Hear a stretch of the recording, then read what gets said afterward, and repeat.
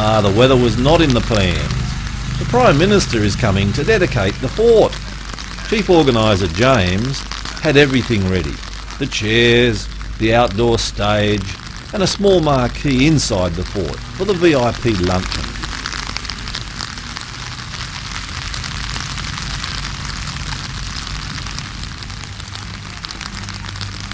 By the time the official guests began to arrive, even the old soldiers agreed. The weather was miserable.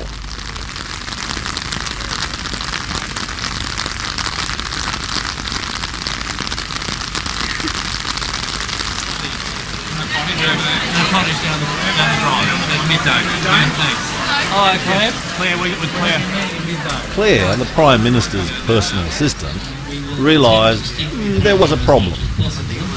Regrettably, the parade has been cancelled, as has been the RAF Air Command concert. However, we are planning on, on holding a ceremony, albeit in perhaps in a bridge form, in this area, commencing at approximately 12.30. Beautiful weather. Welcome to Newcastle. So, Sunny Newcastle. so no real concern. I mean, it's obviously what you can, you know, Yeah. consider it has to go in the program Right. and, uh, and what we can do reasonably within that space. A hastily convened meeting of the key players quickly had a revised plan in place.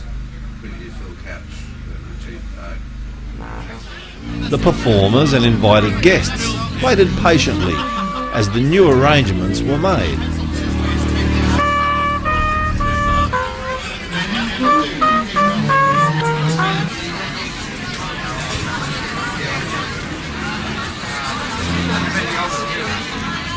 When all the dignitaries were in place, all that remained for James to do was to bring in the Prime Minister.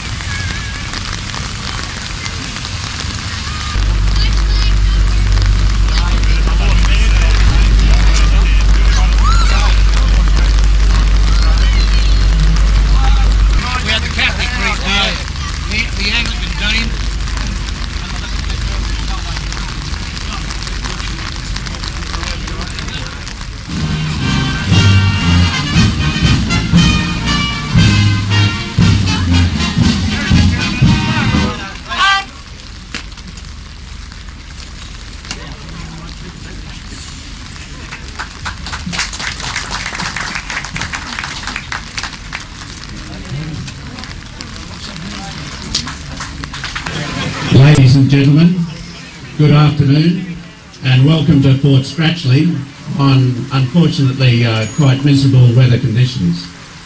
My name is Chris Oxenbold and I will be the Master of Ceremonies for this dedication ceremony and we're very pleased that you could make it here today in such uh, conditions.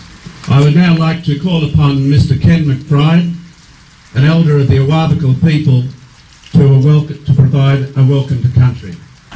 Wananakuya, Yante, Yamalong, Awabakal, uh, Karua. Welcome everyone for coming together to the land of the Awabakal here by the sea.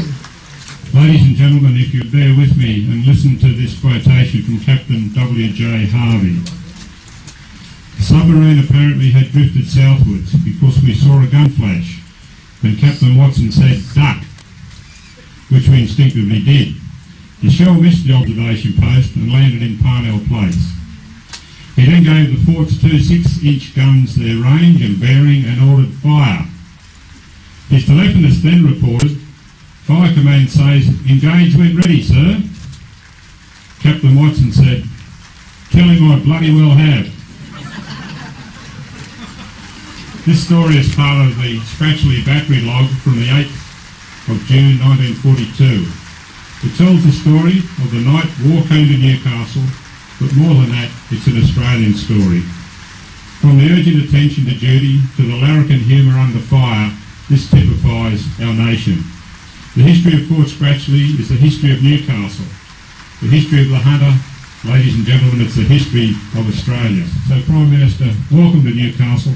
Thank you for being here And can I, with great respect and great humility, thank you for your efforts and say, thanks Cobber, thanks mate, we're proud you're here.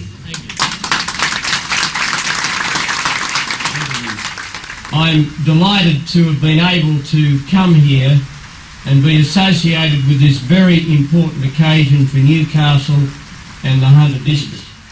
It's a reminder to all of us of just how close enemy fire came to this country.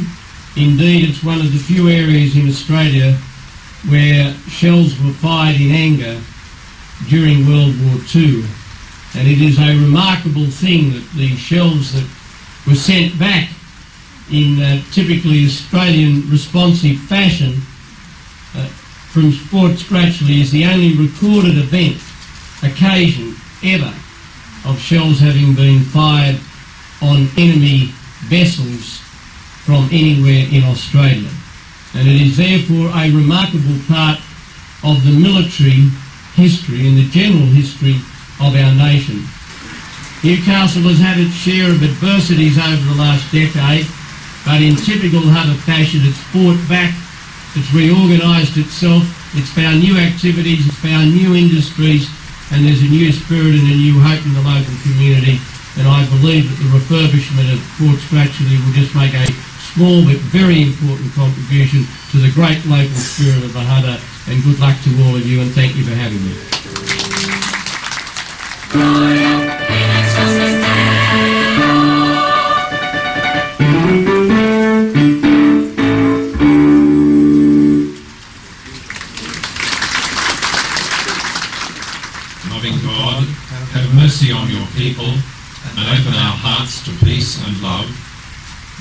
To you all who have died for their country.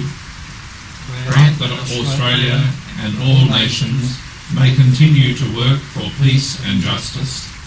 Bless us in your service and bless this fort to the memory of all service and ex-service personnel who have served Australia. Help the people of this land to ever seek the ways of righteousness and justice through Jesus Christ our Lord. Amen. I would now like to call upon the Lord Mayor, Councillor John Tate, and the President of the Fort Scratchley Historical Society, Mr Bill Hopkins, to come forward and join the Prime Minister in the unveiling of the plaque.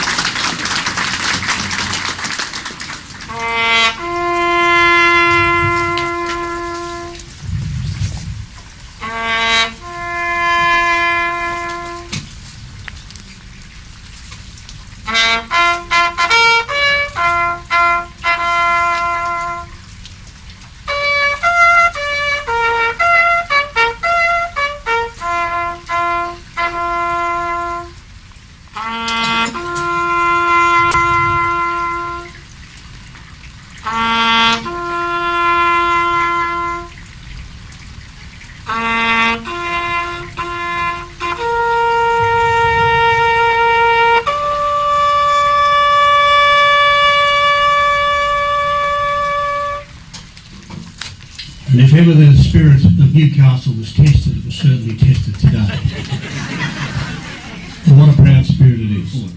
And I thank you, Prime Minister, for being here and for your government and for the funds you are making available for the restoration of the fort.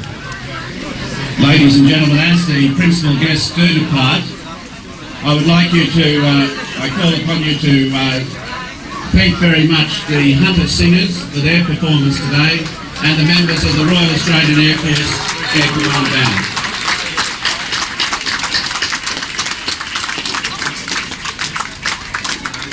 Hello there. Hello there. G'day. Prime Minister, do you want to watch the fight? I'd love Off to. the top of the hill? Ah, well, I, I don't want to make it, I don't want to get everybody sweating. They're all in the gun. I'd love to. We're going to let you see. Up this way, up this way. Jeez, great view. This is magnificent. This, this one, I can almost see Hawks Nest. You can, that's right. If it had been fine, you would have been able can to. see fine, I can see Hawks Nest. You can see it from here. Yeah.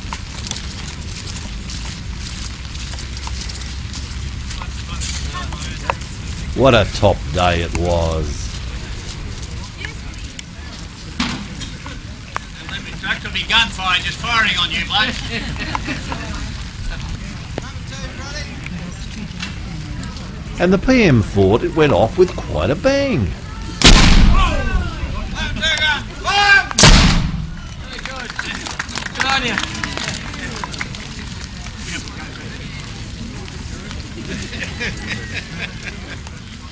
At the end, John quietly thanked John for a day that went mm, just as planned. Ah, just another beautiful day in Newcastle.